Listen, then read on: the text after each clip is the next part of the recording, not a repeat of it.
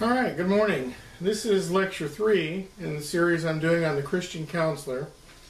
And um, it's a book I'm going to publish later on that's called the Christian Counselor's Desk Reference.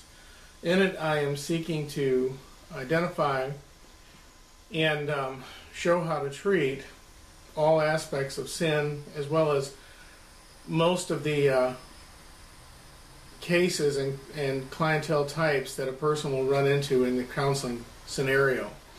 It includes mental abnormalities and aberrations. Lecture three, this, this lecture is on the Christian counselor themselves. So, Father, I pray and ask that you bless this time, that you'd open the minds and hearts of all those that listen. In Christ's name we pray. Amen. There's a common misunderstanding about Christian counselors. I have sat in circles with many psychologists, psychiatrists, therapists, Christian counselors, hypnotherapists, you know, you name it, state and run chaplains. And the majority of them think that if somebody's a Christian counselor, they're ignorant about psychology or the tenets of the mind. But that's not that's not true. A true Christian counselor is somebody that's both skilled in the Bible and understanding how God works with man, but more so also about how man his sin, his spirit, his soul, his body, the creation of God works in accordance with the healing of God and the grace of God. A true Christian counselor will understand the theological and biblical knowledge that it takes to bring a person to healing, but they will also understand psychology. They will study the various tenets of the brain, its functions, conditioning, um, various stages of life, you know, Erikson's eight life cycles and such, they will study to show themselves approved. So a, a true Christian counselor is actually somebody that's more efficient in working with an individual than just a psychologist or a psychiatrist. Psychiatrists lean towards, you know, getting an equilibrium or a homeostasis through the intervention of drugs and the prescription or prescribing of medications, whereas a psychological aspect of the psychologist comes from things that are rooted within the childhood or that are hidden within the subconscious. The Christian counselor will deal with even more than that. They will deal with the spirit and the soul, how it works with the flesh. So, a true Christian counselor is somebody that's actually equipped by God the Holy Spirit and is trained in the things of counseling, to include the Bible, the scriptures, and what we can learn about the science and art of the mind and how it works. But when you add the Holy Spirit to that training, it makes the Christian counselor much better and much more adept and equipped at working with somebody than any other professional. The Holy Spirit can reveal to your client or to the person that comes to you what the problem is. And the Holy Spirit can bring the healing, can correct any biological problems, the supernatural power of God is there. And it will work on behalf of your client and in their lives and in their family's life. Only God, like the Bible says, can make straight that which is crooked. Only God can change the leopard spots or the zebra stripes. And I'm telling you, if any person be in Christ, they are a new creation. God can make them a new person. I have seen people addicted to heroin, methamphetamines. I've seen just about every type of addiction people come off of it in one session of biblical counseling. God setting them free, taking away the desire as well as the need.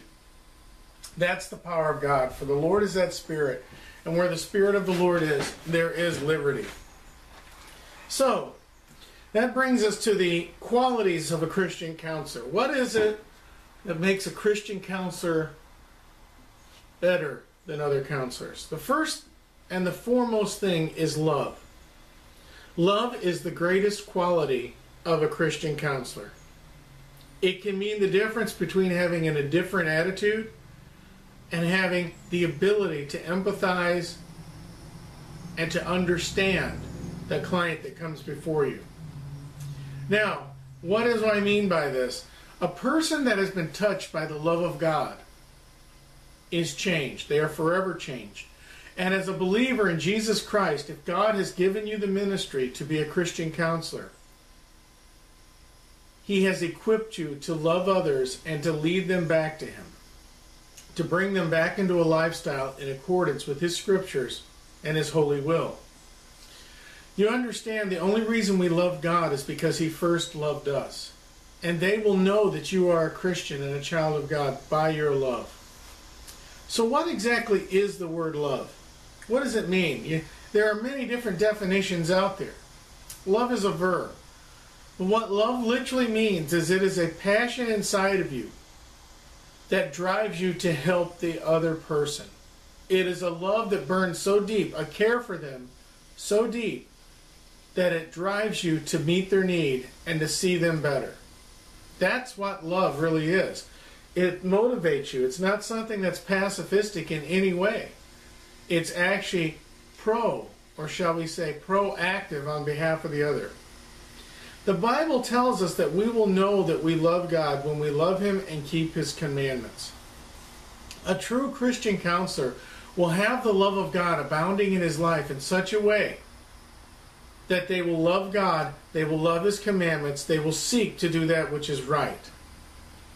Um, I was just working with an individual, and you know, they felt the need to justify themselves by telling me that a pastor of a very large church is openly having an affair with another woman that she feels that he feels that God has led him to separate from his wife and to date a woman that he has become attached to within his church. It's a church of three to four thousand members. And most of the congregation is okay with it. Well, let me tell you something. He's leading his flock astray. He is going against God because adultery is a sin that God hates. Our lives as Christian counselors have to emanate and reflect Jesus Christ, a love for Him, and an obedience for Him. You will love your wife, you will love your husband because the Bible tells you to. And you will seek to do those things that honor God. We will keep His commandments because we love Him. And that is the most important thing. And it's something that we can't bypass. He tells us that when we work with others, we need to be careful that we don't fall into the same sin. I've known uh, male counselors who have worked with other males about um, committing the sins of looking at pornography and, and self gratification. And those counselors have fallen into that same sin. They've been lured in. The Bible tells us in the book of Galatians, Brethren, if a man be overtaken in a fault, Ye which are spiritual, restore such a one in the spirit of meekness, understanding it's not your strength, and that you can also fall. Considering thyself, lest thou also be tempted. Bear ye one another's burdens, and so fulfill the law of Christ. You see, God commands us to help others, to help them get their lives right. But He warns us it's in His power, it's not ours. We can also be tempted, we can also fall. And it's for this reason we need to soberly enter into this ministry. We're not immune to sin. We must ensure that if we're helping those that come to us, we're honest with ourselves and honest before God. If you're tempted, you need to stop and you need to say, Lord, I'm feeling this urge. I'm feeling tempted. Please take this from me. Equip me. Let that desire pass away. Remove it from me. And Lord, Give me the strength to not only be virtuous, but to do that which is right for thee, for thy testimony, and to help this individual that you've brought into my life. The first and foremost quality, characteristic and quality of a good Christian counselor is they will love God and they will love others. The second most important characteristic that you can have and quality is by being a good listener. You need to learn to listen to those that come to you and also to listen to the leading of the Holy Spirit. This is the job, and it's an important characteristic of a good counselor. I have known many professionals that it seemed like it was more important for them to speak, to try to lead or guide a person, than to simply sit there and listen and allow that person to reveal everything that they could. My friend, what you have to say may seem important to you, but let me tell you something. You're not there to satisfy your need. You're there to meet the needs of those that come to you. And you have to be a good listener in order to do the will of God in that person's life. Now, the key to effective counseling can be summed up in, in two words effective communication. In, in order to understand another person's problem, what they may be experiencing, you have to be able to effectively communicate with them. If you cannot effectively communicate, then you are going to have gaps and you are going to miss things and you're not going to convey what God would want you to convey. Neither are you going to hear what God is wanting to reveal to you, to work through you. Effective communications are called the art of understanding. When you can actively listen to another person, the first thing is it shows them that you respect them, that you've accepted them, that you're permissive of them opening up to you. It shows them that you understand them. This is one of the most important steps in communication, and it is a vital, necessary function if you are going to build rapport with the client. Remember, our last lecture, too, was on building rapport. Rapport is an emotional bond or friendly relationship between the people based on a mutual liking, trust, and a sense that they understand and share each other's concerns. In counseling, you have to establish trust with that client. And if you can establish trust with the client, you can then give them hope. It will give them hope that you will be able to help them. If that person does not trust you, they will not have hope that you can help them. So, whatever concerns that they may have come to you for, you will not be able to effectively meet them. It is not uncommon for a client, if they feel they are not being treated or heard properly, they will get overcome emotionally. In other words, if they're not properly being able to vent and communicate to you, their emotions will rise up and begin stirring them. And it will create an inner tension between you and the client. It will also create a point of animosity to them later on when they leave because transference is a very serious issue. And it happens when somebody is not being able to effectively communicate to the counselor.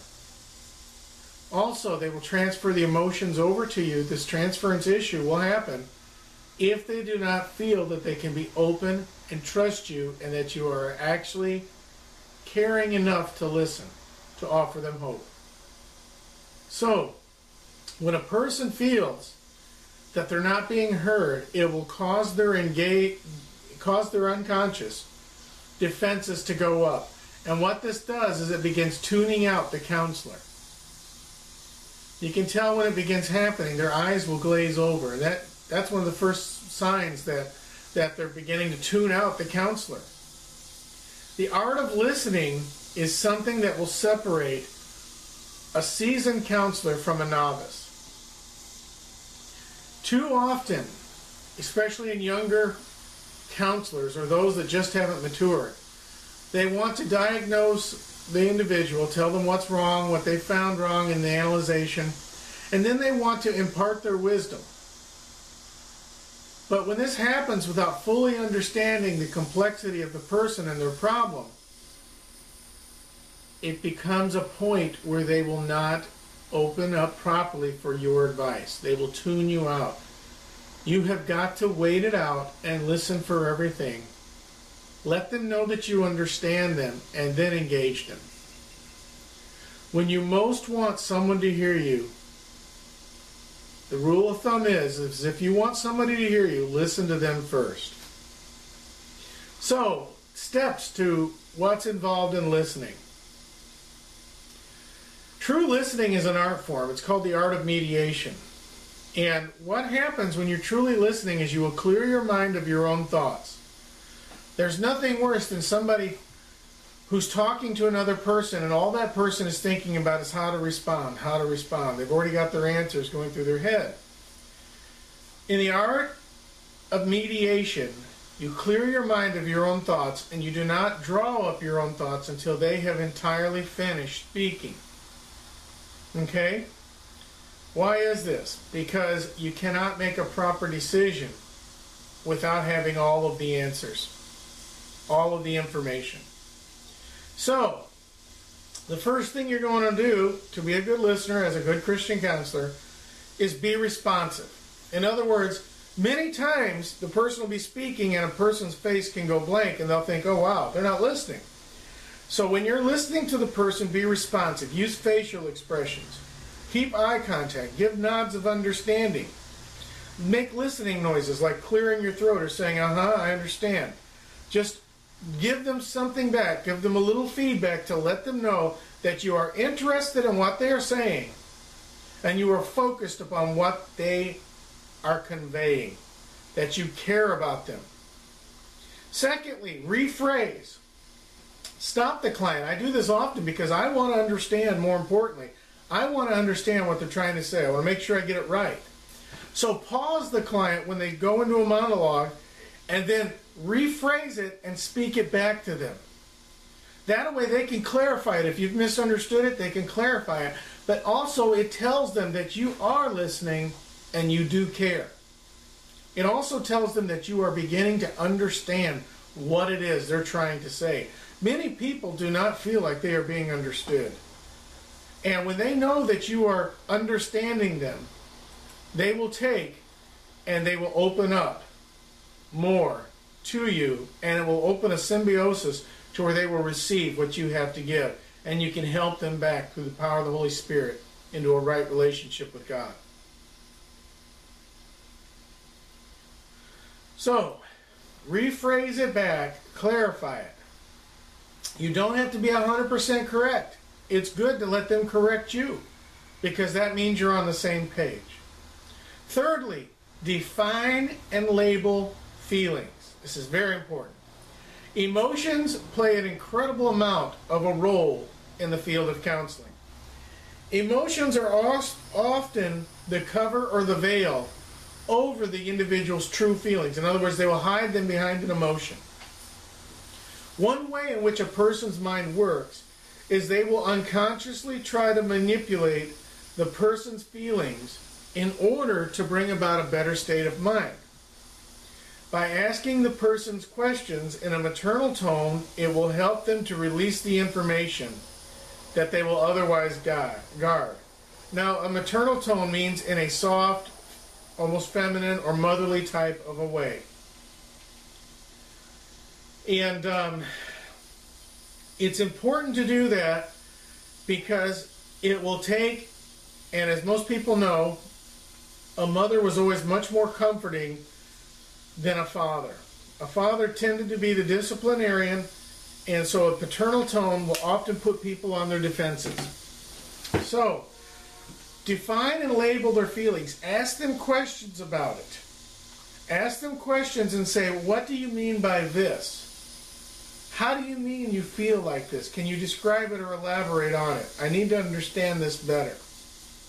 So, by doing this, it's going to give you a better understanding but it's also going to make sure that you both are on the same page. It also will deepen the connection between you both. It will create a more intimate level.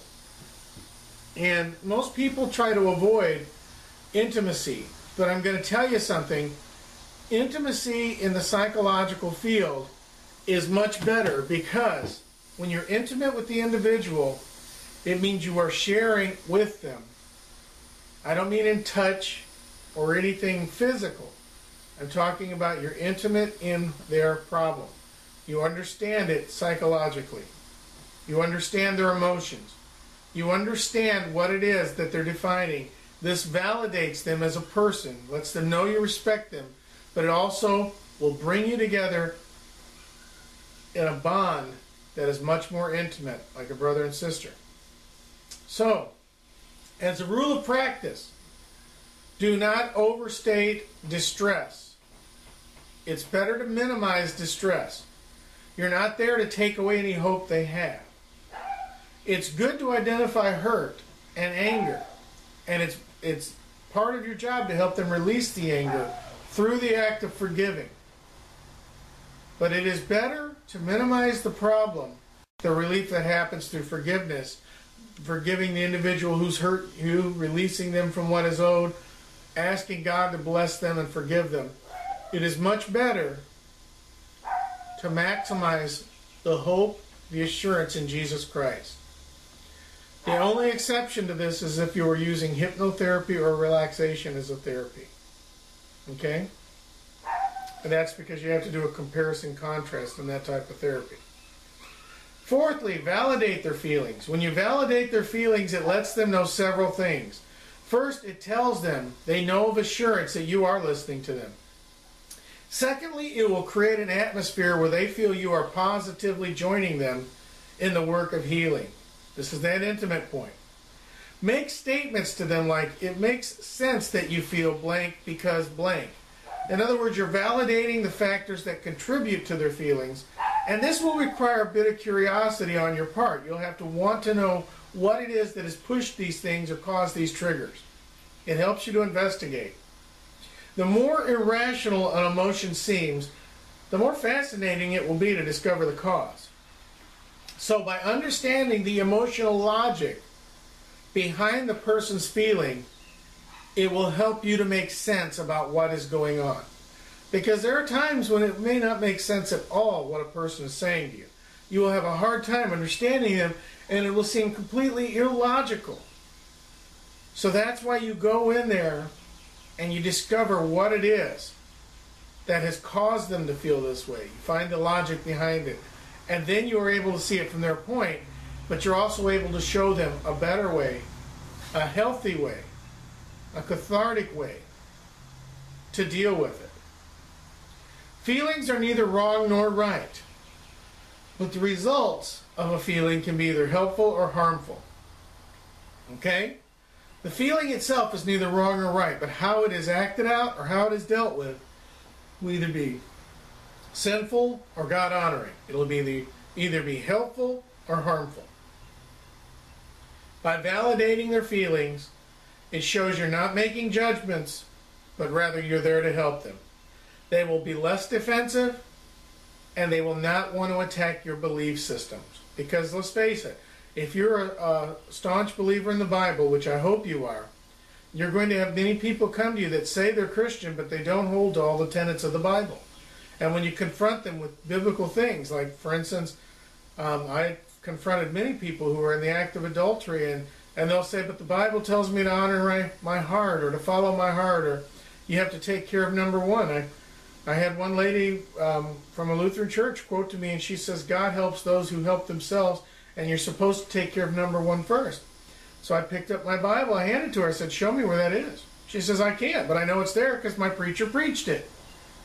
And I said, Well, your uh, Lutheran minister is wrong. That's not only not in the Bible, but, but that person is going to be judged by God for what they have said. I said, The Bible says, Esteem others better than yourself. It says, don't trust the heart because it's deceitful and desperately wicked. And only God can truly understand and know how devious the heart is when it works. The flesh is your enemy. Well, she was taken back. She was aghast at what I was telling her. She actually got upset that I would say that her minister was wrong. So I opened the Bible and showed her. I said, You need to follow the scriptures. You need to begin taking a Bible. And I think it's a good idea that you confront your minister and say, Listen, um, where in the Bible are you getting this information? Because I can't find it. Because I'm going to tell you something God never tells a person it's okay to commit adultery. It's always an abomination, it's something He hates. All right. I give you an idea. You should always make it an exercise because it's easier to make judgments and sneak in your own viewpoints than it is to listen. So you need to exercise your desire for listening, clearing your mind, making mental notes or physical notes on a pad before making judgments or giving your own viewpoint. Do not have a hidden agenda. Do not think that you've already figured them out and this is an easy case or you've seen a hundred of these because each person is different. Once you listen, you may discover that there's something totally different. So, the five components of good listening active listening responses. Listen and then respond back so they know you're listening. Repeat that listen to the speaker's comments, take notes on them, rephrase them, label their feelings, and validate them. Okay, that's an important aspect of a Christian counselor.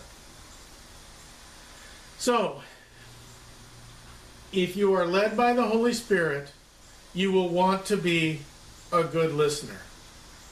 You will want to validate them and tell them that you understand them, but then show them a better way. Okay? You will not create moments of tension so that transference can happen as a result, emotional tension. Okay? You will listen to them and you will honor them. There are times that you're going to need to let the client vent. This is important. It is okay. There may be an entire session where the client simply wants to speak, and that's okay. If they need an entire session to vent, then allow them to do that. Because remember, you're there for the client, you're not there for yourself. It may take more sessions than what you plan. Venting is very cathartic, it can bring a person out and allow them to heal allows them to work with their struggles. So, as a Christian counselor, your most important quality is love. Your second is learning to listen and being a good communicator. This is Dr. Tom Knotts. This is lecture three in the Christian counseling. This is on the Christian counselor themselves. My next lesson or session, lecture four, will be on establishing pop, proper boundaries in counseling establishing proper boundaries in counseling. This is something very important that most people do not understand, and as a result, their ministries fail or they fall into sin. Okay, Lord bless you in your endeavors to serve Him.